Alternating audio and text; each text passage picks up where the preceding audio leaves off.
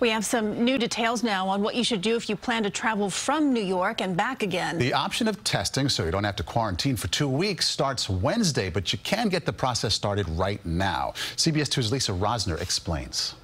Hada Holscher is waiting in the cold to take a COVID test ahead of flying to California for a week. For the people I'm going to see and anybody that I come in contact with, really. I mean, I think it's important to get tested. And under a new policy Governor Cuomo announced this weekend, halfway into her California trip, she'll go for a COVID test there to start the process of returning home and avoiding a 14 day quarantine in New York. Here's how it works. Within the 72 hours leading up to your departure back to New York, you must get a COVID test. Then, upon arriving here, you must quarantine for three days. On the fourth day, you must get a second COVID test.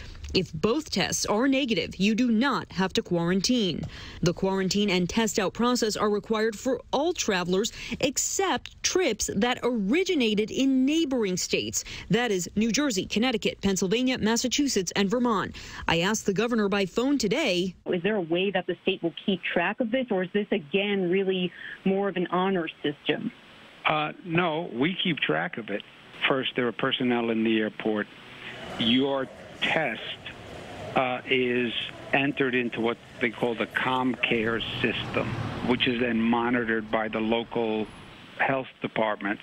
And he says the second test gets reported to the Department of Health. For Tyra Willer, it means not missing work when she returns from seeing family in Texas for Christmas. I feel like if I was able to just take a test to prove that, it would be a lot more beneficial. But still, reps for the governors of Connecticut and New Jersey tell me that the policies for visitors to those states have not changed. New Yorkers making quick trips less than 24 hours outside the area don't need to test before heading back. However, they are required to take a test four days after arriving back in New York.